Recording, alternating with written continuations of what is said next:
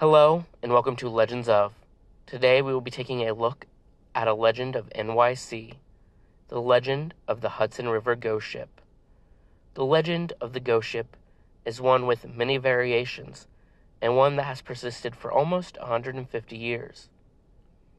According to the legend, looking out on the Hudson River during dusk on a foggy day, you might happen to see the outline of an old ship with tall masts in the water. This is said to be the ghost of a ship where a careless crew led to the ship being run aground in the rocks. If you listen closely, it's also said you might hear the captain giving orders to his crew in an attempt to save the ship. However, there is more to this legend.